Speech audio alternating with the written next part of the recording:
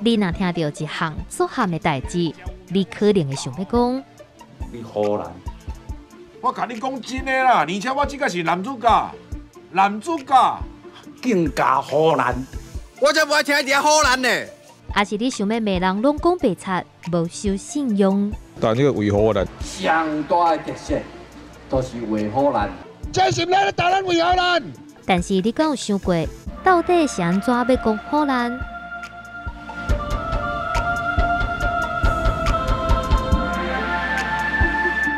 荷兰通常用来形容一个人讲的话正合，根本的乌白纸。荷兰是对为荷兰来的，也就是为好讲的咱。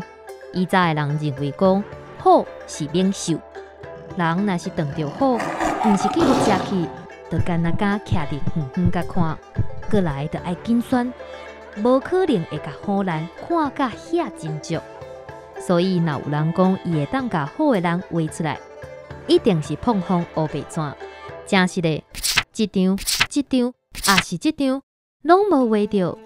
另外，阁有一种讲法，荷兰其实是对日记的“好啦”俄斯句来的，也就是分发的。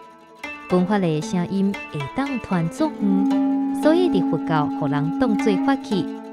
分发的意思嘛，用来讲佛法放送到天边海角，后来所变做咧工人碰风操蛋。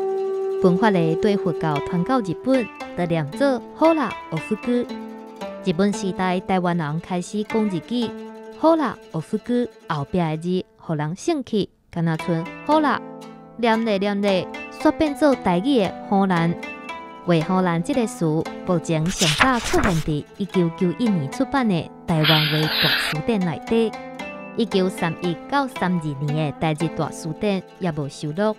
算起来，荷兰有可能是日本时代末期至二战了后才出现。历史其实无偌长，是咱近代才出现的词。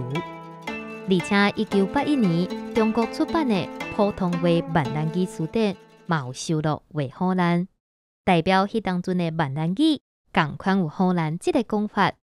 除了荷兰以外，阁有碰风、放臭屁、讲好笑话、甲分鸡龟，拢差不多是迄个意思。鸡龟是鸡的消化器官。